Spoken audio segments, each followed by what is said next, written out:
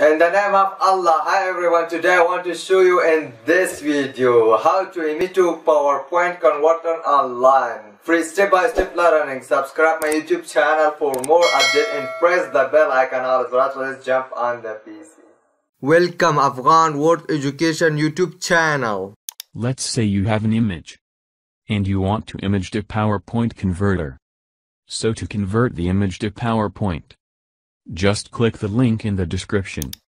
First open the site. This is the site which will help us convert an image to PowerPoint document. So click select file and then select the image which you want and click open. And here select the Microsoft PowerPoint document format. And here click convert. And here a few second wait image to PowerPoint converter. As you can see automatic download. The file will be downloaded to your computer.